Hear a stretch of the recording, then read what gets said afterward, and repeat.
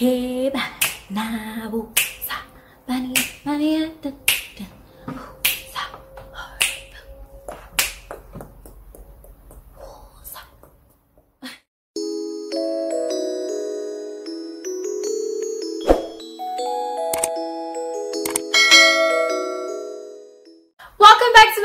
name is Deneo. I am the girl. The girl is me. And for today's video, I am going to be sharing some tips and some tricks on how to get free presets on Adobe Lightroom. So if you guys are ready, let's get right into it.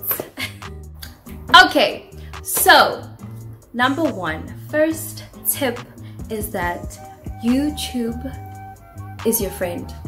YouTube is your friend, and the reason why I say this is because if you just um, you just downloaded the app and you don't know what to do, you don't know how to edit, you like what is going on? YouTube is your friend. There are so many Lightroom tutorials out there, um, especially myself included. I have done a few and towards the end of the video I am going to be showing you how to do a film presets like a vintage film presets um, just to take you know your night photos from zero to a hundred you know you know what i'm saying so anyways um i must say when I started using Adobe Lightroom, that was how I learned how to um, use the app. And I must say, if you um, type in free DNG presets, I'm gonna put it on the screen, um, on YouTube, so many guys, so many channels are going to show up. But the one channel that I love and he literally posts the best presets and the presets that that are within that are like you know still on trend you know?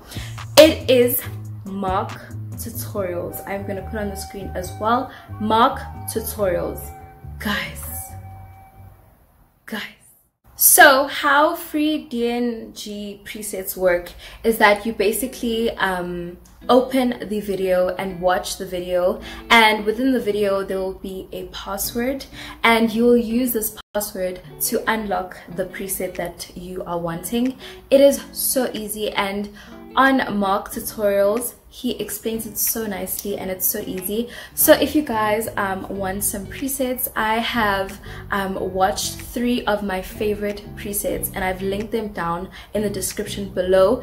And guys i got you. I got you. I've watched the video and i um, also put the password in the description. So you just have to tap and type in the password and there's your preset okay so tip number two is more for us dark melanin you know all the good stuff it's for us because um, i must say most of these presets are um, a little bit brighter and um, you know they're a little bit bright and you must then use your creative juices and edit them a little bit and tweak them.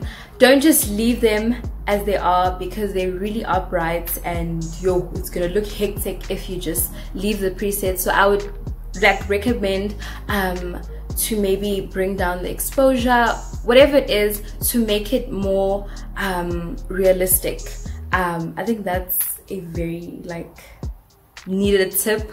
Um but yeah. Number three. This is the final tip um and it's similar to tip number two.